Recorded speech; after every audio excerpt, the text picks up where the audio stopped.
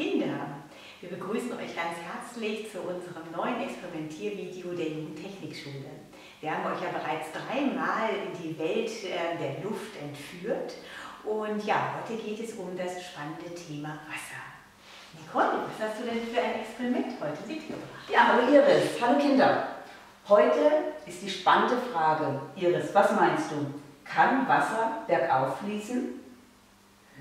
Das kann ich mir ehrlich gesagt nicht vorstellen. Ihr euch?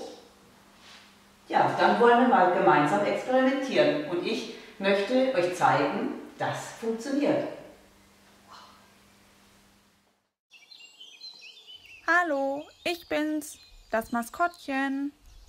Mal schauen, welches Experiment sich die Jugendtechnikschule diese Woche überlegt hat. Bist du auch so gespannt?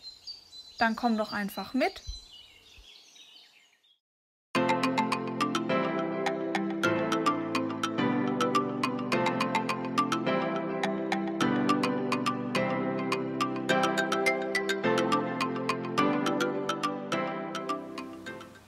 So, für das heutige Experiment zeige ich dir erstmal, was du brauchst. Du brauchst zwei Schüsseln, eine davon gefüllt mit Wasser und einen Schlauch. Stell die Gefäße verschieden hoch nebeneinander. Das mit Wasser gefüllte Gefäß stellst du auf die Erhöhung. Dann nimmst du den Schlauch, gibst das eine Ende in das wassergefüllte Gefäß und an dem anderen Schlauch ziehst du. Sauge am Schlauch, bis Wasser kommt. Verschließe den Schlauch nun mit dem Daumen und halte dieses Ende in das andere leere Gefäß. Jetzt nimm den Daumen vom Schlauch. Du siehst, wie das Wasser vom oberen Behälter in den unteren Behälter läuft.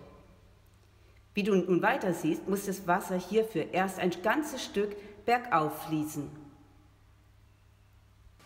Hast du eine Idee, wie das Wasser von dem einen Gefäß in das andere geflossen ist und dann auch noch bergauf steigen konnte? Hast du denn schon eine Idee? Ja, genau. Das Wasser steigt im Schlauch nach oben. Denn das Wasser im unteren Ende des Schlauches zieht das Wasser aus dem oberen Gefäß hinterher, selbst wenn es dabei erst nach oben steigen muss. Du kannst es dir so vorstellen, dass Kinder sich an der Hand nehmen und das erste Kind zieht alle anderen Kinder hinterher. Wow, das Wasser kann also wirklich bergauf fließen. Hast du das gedacht? Und die Erklärung ist gar nicht so schwierig, wie ich gedacht habe. Die einzelnen Wassertropfen im Schlauch sind nämlich alle miteinander verbunden und halten sich durch eine Kraft aneinander fest. Somit zieht ein Wasserteilchen alle anderen hinterher, selbst wenn es bergauf geht.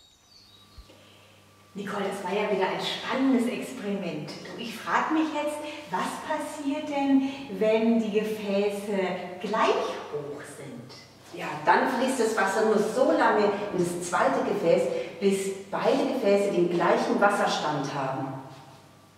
Okay, das muss ich dann auch mal ausprobieren. Und da fällt mir noch eine Frage ein. Mhm. Was ist denn, wenn jetzt zum Beispiel in dem Schlauch sich Luft befindet? Hm. Ich würde sagen, probiert es aus, was passiert, wenn in den Schlauch Luft reinkommt. Vielleicht habt ihr Lust, uns das Ergebnis dann zu schreiben oder per WhatsApp an uns zu schicken. Und ja, da vielleicht ein kleines Dankeschön an all die Kinder, die schon ihre Kommentare zu den letzten Experimenten uns geschickt haben. Wir haben uns sehr darüber gefreut. Also, wir wünschen euch viel Spaß beim Experimentieren und bis zum nächsten Mal. Tschüss. Tschüss.